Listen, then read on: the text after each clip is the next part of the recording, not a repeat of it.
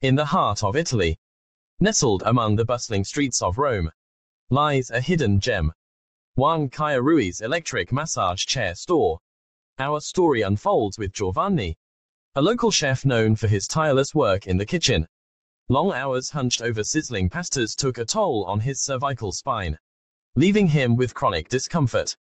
Enter the cervical massage chair, a masterpiece from Wang Qirui's collection with its sleek design seamlessly blending into Giovanni's modern apartment in Florence.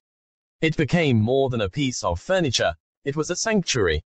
The chair's innovative technology, tailored for cervical relief, worked wonders on Giovanni's strained muscles. I felt like I had my own personal masseurs. Giovanni gushes, his face lighting up as he recounts his experience.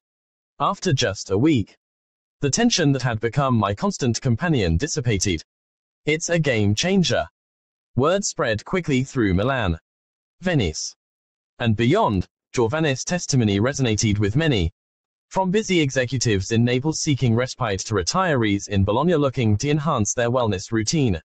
Wang Qirui's chairs found homes across Italy. The cervical massage chair isn't just a product. It's a testament to Wang Qirui's commitment to restoring well-being.